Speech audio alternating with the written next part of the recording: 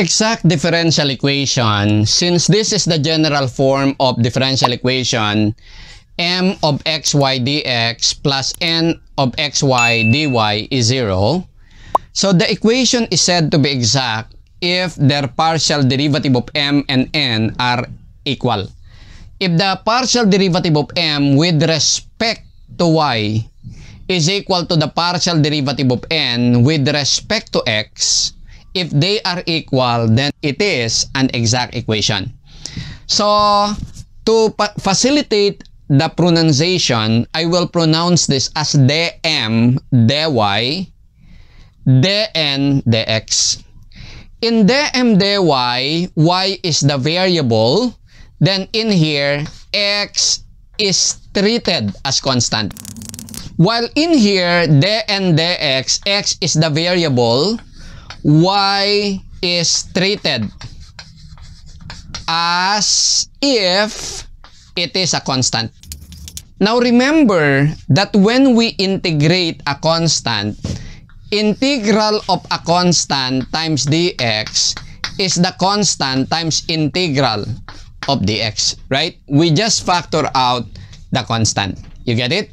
So the solution to this exact equation is just integrate this partially with respect to x, meaning y will be treated as a constant. Okay? So y in here is treated as constant. Plus integral of this partially instead of dy, dy. So in here, so integral of this partially instead of dy, this is dy, meaning x is treated as constant. However, we will level up to that n is taken as 0. Meaning all terms with excess will be cancelled or will be cancelled out. You get it? And this is integral of 0 that is constant or any form of constant. Let me illustrate. So in this equation, take note, this is non-homogeneous. This is third degree. This is second degree. This is zero degree. So, non-homogeneous and non-reducible to homogeneous equation. So, let us take or let us test if this is exact. If we will solve the m, the y, this is your m, this is your n. Your dm dy, x is treated as constant, constant, constant. So this would be k or x, derivative of y squared is 2y, right? Derivative of y with respect to y, 1. Plus, derivative of 2, 0. Derivative of y squared with respect to y, that is 2y. You get it? And our dn dx y is treated as constant here. Constant, constant, constant. So derivative of y, y is constant. Derivative of constant, 0. Derivative of this is y.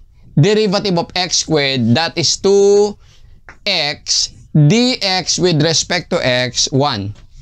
Plus 2 is a constant, so that is 2y, derivative of x with respect to x, 1.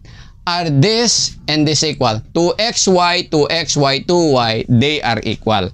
So meaning, this is exact differential equation.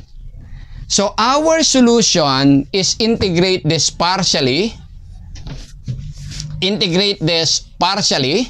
The symbol of partial integration is not official.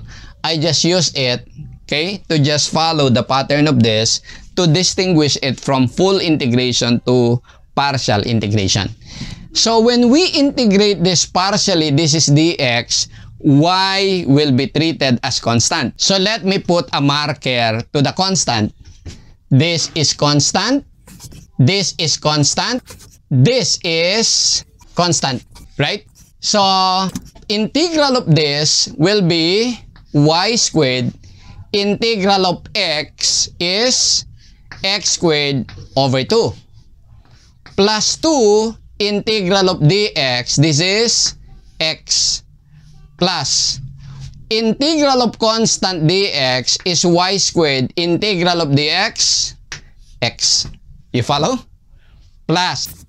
In this expression set all x's to 0 so this is 0 this is 0 the only thing that will be left here is y so this will be integral of y dy is y squared over 2 do you follow?